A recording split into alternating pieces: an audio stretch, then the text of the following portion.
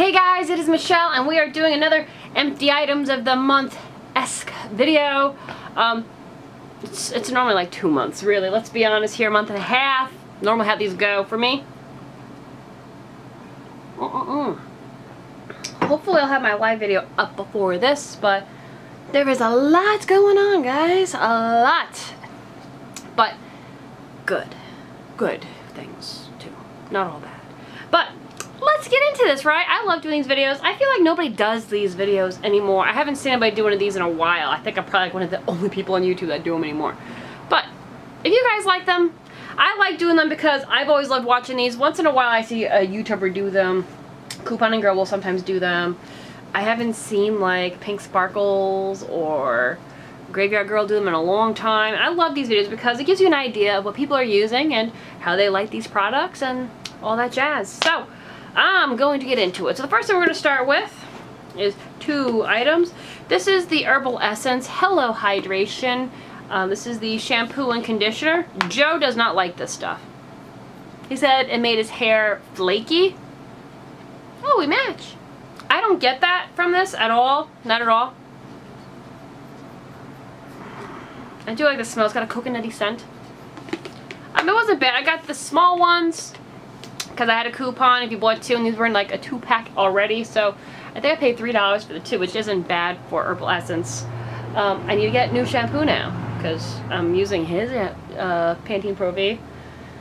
Um, I like the Herbal Essence line typically, but um, this was okay. It's not my favorite. I figured for summer, deep moisture is a good thing to have. My hair is always looking for conditioning, and I figured this would be the way to go. Although I've been told that coconut oil actually isn't good for your hair.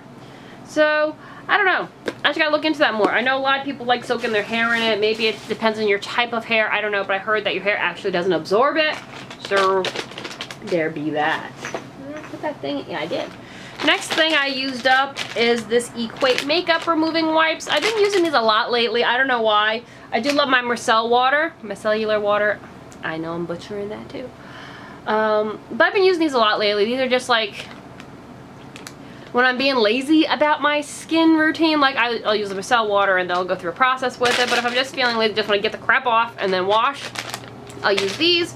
And they're pretty good. For the price, you get two of these bundles, which have 40 a piece in there. It's roughly five or six bucks from Walmart. It's not bad. And they're compared to, normally says, compared to Neutrogena Makeup Removing Cleansing Towelettes. So that's not a bad deal. I've tried like the name brand ones too.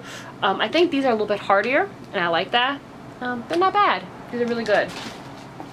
Next thing, I used up is my toner from Lush. This was Breath of Fresh Air. Uh, spritz on this blend of cooling aloe vera, soothing rose, and clarifying herbs for smooth, balanced skin. This wasn't bad. I definitely needed because of the weather and my skin being combination and oily. I've been breaking out like crazy. It's really disgusting. Um, so I actually needed something different. I need to go back to Lush because I am literally out of just about everything. I'm using Witch Hazel right now as a toner.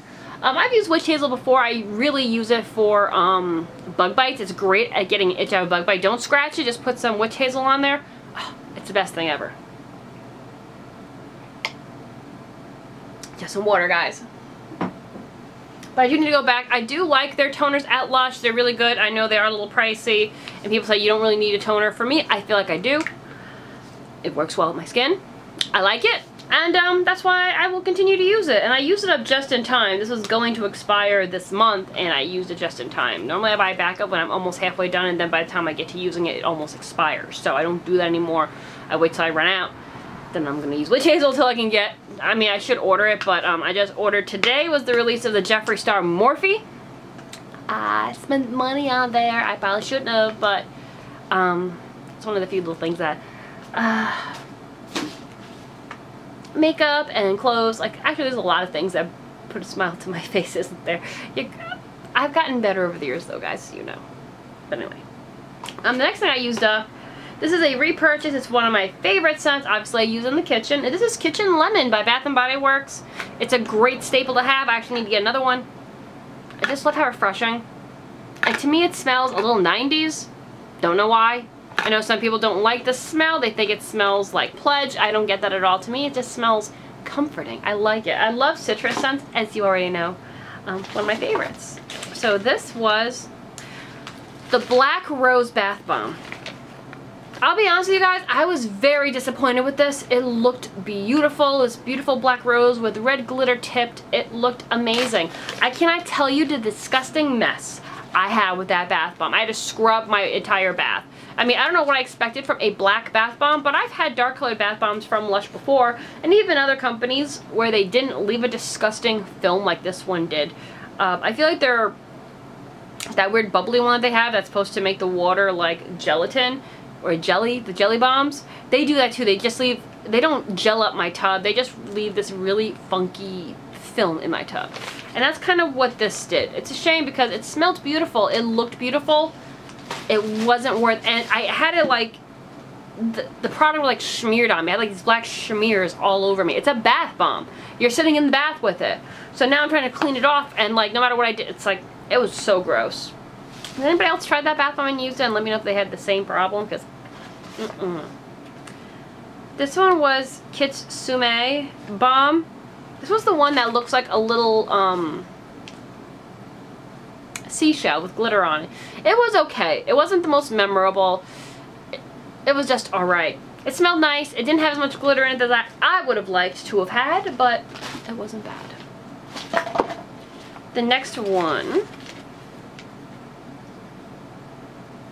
Blackberry Bomb is classic. I think it's the original bath bomb from Lush.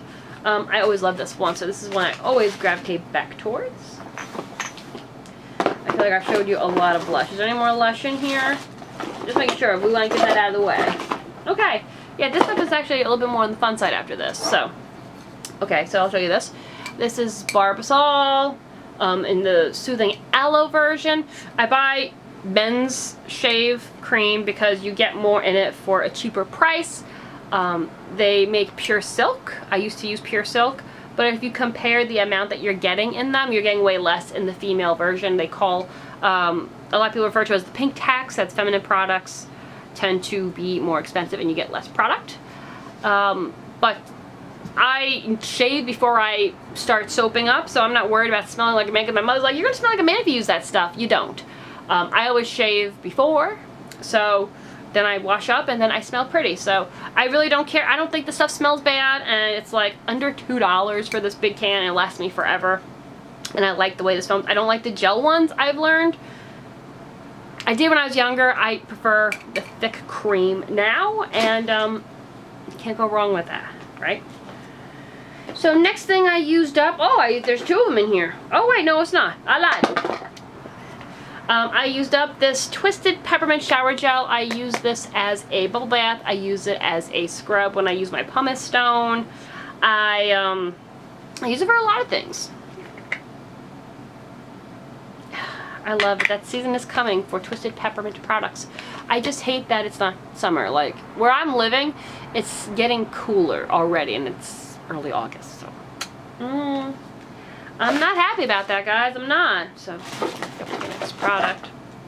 Oh, okay. So this next one I'm using is, um, it's a scented soap in the scent Beach Rose. We bought this in Cape Cod. And you guys know I have like a collection of bath products. You know, I love that. And I'm like using them up. I don't really have many left, to be honest with you. I gotta like bring them up. But, um, uh, you know, there's been some struggles lately, so like my stash is like going down. I'm not able to replenish the way I used to because um, my partner has um, got laid off and has been out of work for quite some time. I know I've really discussed that with you guys previously. I think I mentioned it very, very briefly at one point. Um, but, um, yeah, so it's been a little bit of a struggle, but we're doing good. Oh, we are blinking, so hopefully we have enough time to do this. So I'm going to go to part two really quick, guys.